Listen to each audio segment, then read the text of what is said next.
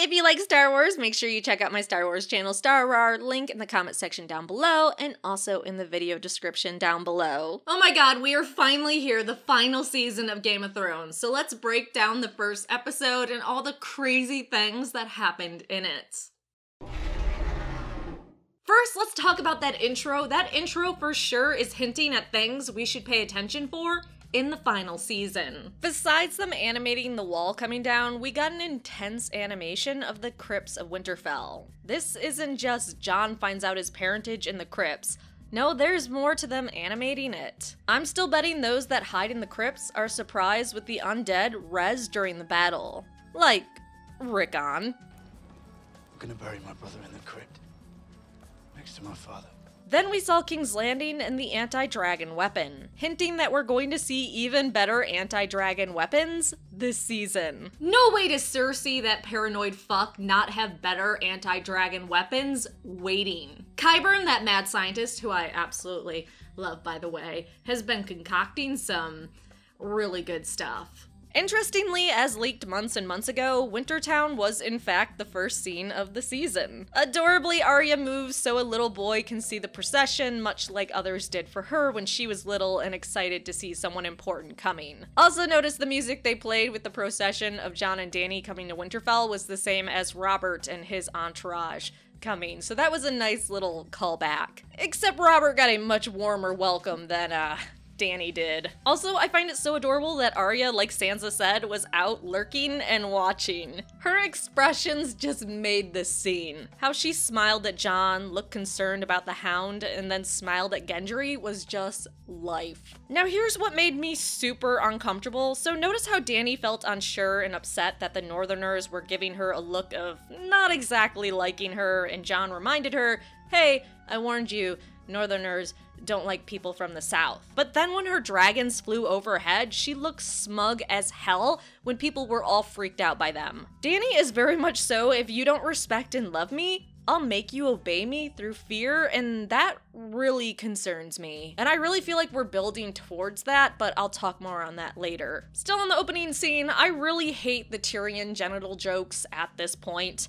Tyrion is so much more clever than this, and they just keep neutering him. It's like they don't know what else to do with Tyrion, so they think, oh, okay, we'll we'll make ball and and dick jokes. That that's clever. No, Tyrion's better than that. So I was thinking maybe we would see progress for Tyrion, but with that opening scene, I am really starting to doubt that. I think they're trying to make him out to be not as smart as what he was portrayed as in the initial seasons. So, okay, D&D, wherever you want to go with that. I love, love, love how Jon hurried his horse forward when he saw Bran and embraced and kissed him. All these reunions are so amazing this season. Of course, then there was that creepy moment of Jon saying, you're a man now, and Bran responding, almost, with that really weird far off look. Poor Jon was so weirded out, he just doesn't know what to make of it. And of course, Sansa was on the sidelines, giving a smug look. Well, if you were here, you would know exactly what was going on with Bran. Dany, of course, tries to be super polite with Sansa and compliment her,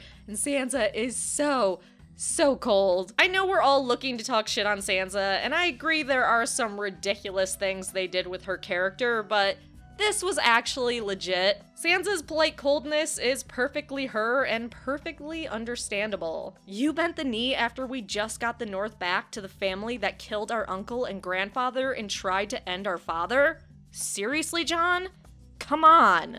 Jon is definitely in the wrong here. Dany agreed to help Jon defeat the Night King before he bent the knee. He didn't need to give up his crown. I'm really glad Lyanna talked some mad shit to him.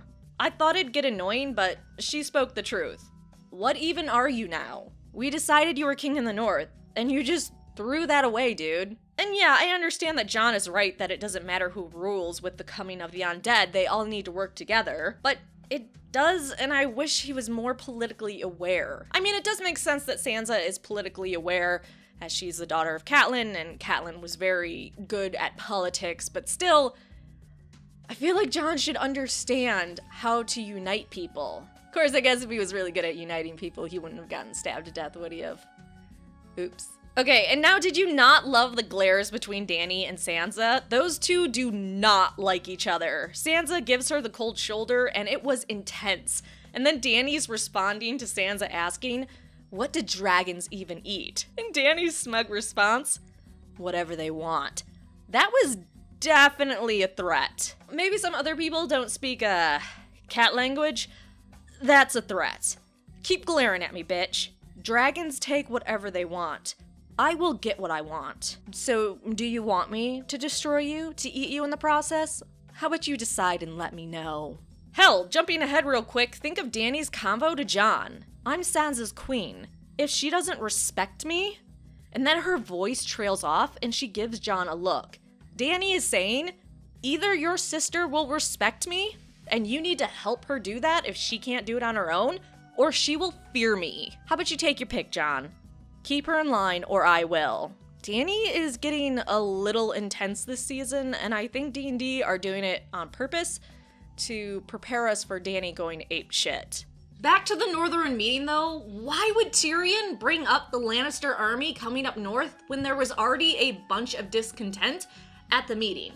Seriously, dude, learn to read the room. There is a time and place for everything. I'm glad that Sansa called his shit out. Speaking of Sansa, that conversation between her and Tyrion was interesting, I guess is the best word. Sansa just kept trying to shut the conversation down, but I think that's mostly her trying to protect herself. She doesn't want to open herself up to anyone or risk showing any weakness. However, I find it quite shocking when Sansa said, what I've been thinking, Tyrion is no longer the clever one. Since Tyrion arrived in Essos, it seems like misstep after misstep, and they just dumbed down his character. And then he got to Westeros again, and he just kept making mistake after mistake, which seemed really out of character. Even Sansa saying, I used to think you were the most clever man in the Seven Kingdoms, says so much.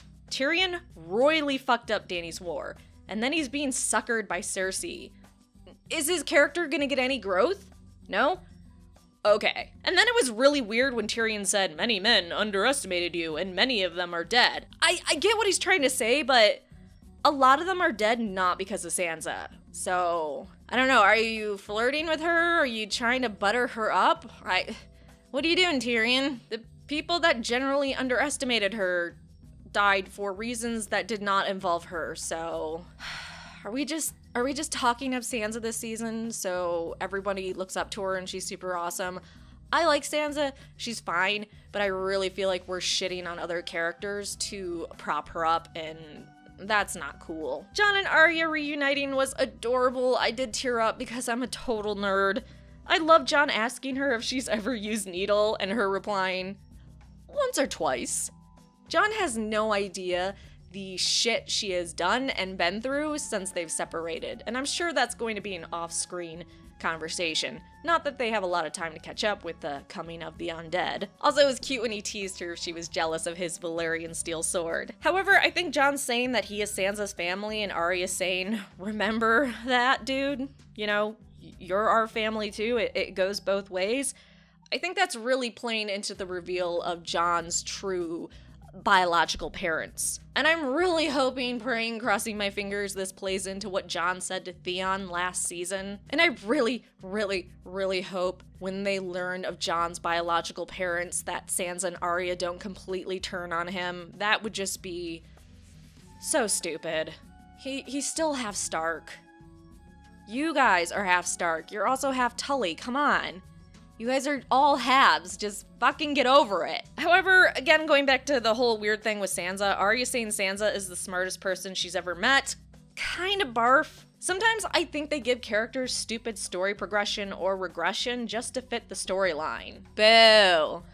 And again, this isn't an anti Sansa thing, because people freak out when you say anything negative about her. I'm just saying her growth this rapidly is just not believable.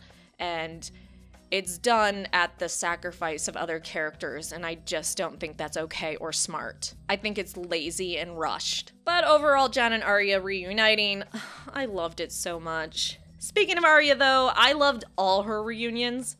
She and the Hound had the exact conversation I expected. The Hound doesn't respect excuses or ego. Arya was just savage with him, which he respects. You left me for dead. Well, first I robbed you. That is all those two needed to say to each other, and boom.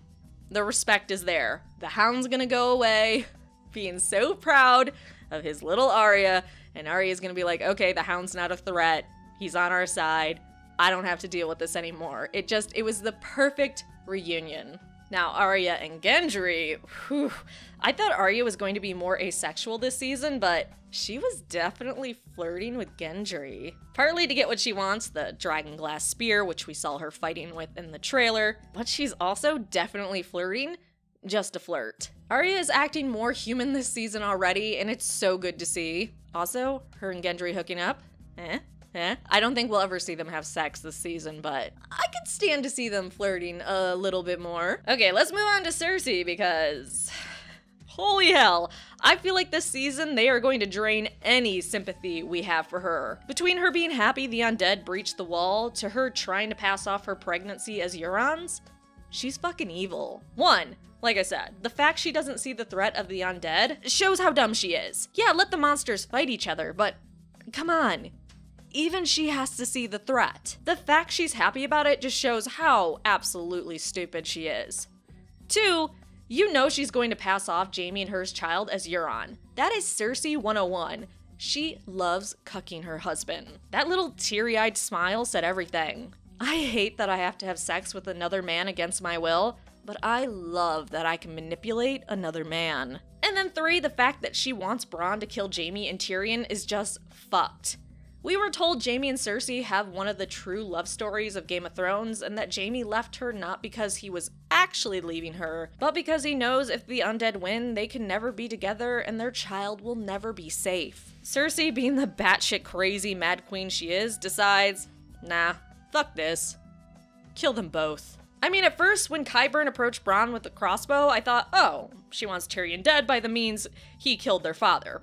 Okay, that's poetic. But then Qyburn saying both brothers, wow, they are really trying to make us hate her. Now with Bronn, I don't think he'll kill either of them. He has the gold already. Qyburn said it. Cersei pays up front. A wagon full of gold. Bronn has the gold, goes up north, helps fight back the others. And I think that's about it. I don't think Bronn turns on them, but they want us to think that he does. But back to Cersei, I said in other videos her and Euron's sex would either be the craziest or most boring. According to Cersei, it's more crazy. She reminds me of a lady that loves kinky men, so here you go. It's right up her alley. Now here's the question. Does Euron figure it out, or is he around long enough to know that Cersei is already pregnant and not with his child? I don't know.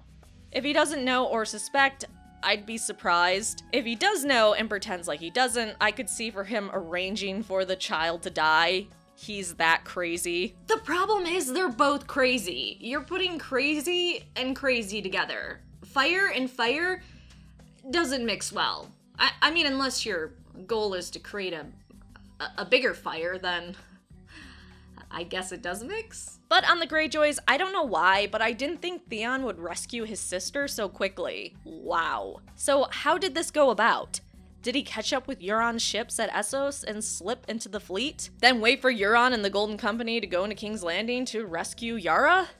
Did they sail from Dragonstone to King's Landing and kind of wait? I don't know. I, I would have loved to see the logistics, but we're not going to, so Okay. I did thoroughly enjoy that Yara had butted him for abandoning her, but then they were square. True hard ass Ironborn. Also, does anyone else see the parallels between Jon and Yara? Both allow Theon to accept both sides, the Greyjoy and the Stark side. Jon tells him, What are you waiting for? in regards to rescuing Yara, and then Yara, despite knowing Theon will follow what she says, allows Theon to go north to help the Starks. Yara and Jon are actually two of my favorite leaders in this show as of right now. They make tough decisions and they're hardened, but they both want what is best for their people and their loved ones. I definitely respect both for leadership. And Yara does have a good point. The Iron Islands could be a safe haven if things go south with the others. And yes, that was a double meaning. Pretend like it was clever. I don't have a lot of positive reinforcement in my life.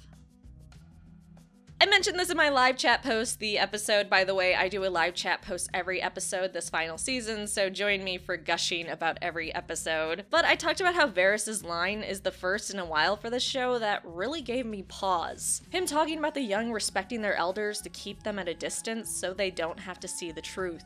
Everything comes to an end. That was crushing and definitely foreshadowing of Jon and Dany splitting up this final season. Which is also a definite foreshadowing with Dany saying they could stay in that spot for a thousand years. Ygritte said something similar too, and hmm, we see how that ended up. Okay, let's talk about that great but sort of weird moment. Jon rode a dragon. I mean, technically, he rode two dragons this episode, but you know what I mean. While I felt emotional about it and was thrilled for him, it also felt so rushed. Was this a way for Dany to try to hold him closer? But does Dany know the thing about dragon seeds? Would this not be a hint to her that those with Targaryen blood can only ride dragons? Or Valyrian dragon rider family blood? I just feel like that would be a huge red flag, but in her head, maybe because she's so in love, she just thinks, oh, this is proof we're meant to be. Overall, I think this is going to bite Dany in the ass. When Jon has issues being with her post revealing his heritage, I have a feeling Rhaegal is going to stay with Jon. Dany and Drogon can no longer get the other dragon to do what they want. Dany loses one of her children and the claim to the throne to Jon. This is going to be brutal. Which, did no one else get the feeling that they're trying to make Dany look bad this season? I just have this feeling they're trying to make us look at Dany and Cersei in a worse light. Dany is smug. When people don't respect her, she is happy to see them fear her. She tells Jon, they will respect me or else. She kills those that don't agree with her. She takes the easy route out. And I really think this came to a head when Dany went to thank Sam for saving Jorah and reward him, and it all blew up in her face. And can we all agree that John Bradley's acting was amazing? I've been where Sam has been, not with a, a woman burning my father and brother with a, a dragon, but a, a similar emotional situation. And yeah, it is really hard to hold yourself together and try to get out of that room. The lip quiver, the eyes, everything, he nailed it. How John Bradley played that, upset that his dad died and a little sad, but then just losing it when he learned his brother died, was so insanely good. I have a whole new respect for John's acting and want to see him in future things. I even love Jorah's expression when he realizes what Dany did. Jorah, who loves her and would follow her to hell, knows she fucked up. Then Sam leaving the room and the disorientation he felt. That really does happen to you after you learn someone you were really close to died. The rest of the world goes on, and you don't feel like you fit in as it blares by. I actually thought Sam was so pissed he was gonna go right to Jon and tell him the truth, and was surprised it was Bran who had to tell him, hey, now's the time. Though Bran really needs to stop saying Jon isn't his brother. Genetically, no, but in every other way, Yes. I know it's because of how he's become, but seriously, fuck you. Like Sam said, Ned is still Jon's dad. But as they showed this episode, with Northerners, blood is thicker than water. But let's talk about Sam telling Jon the truth. That was so well done and so intense. Jon loves Sam and trusts him with his life. They are best friends. When Sam tells Jon the truth, he doesn't tell Sam he's lying like you would expect in any other script.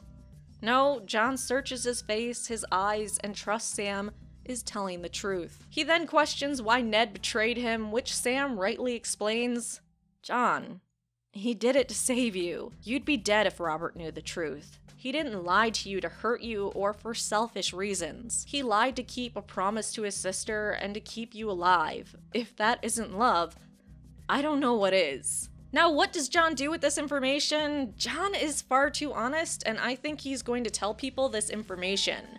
Which, how will the North react? Will they be happy that their king in the North, or old king in the North, is the legit heir to the Iron Throne, so fuck you, Dragon Queen?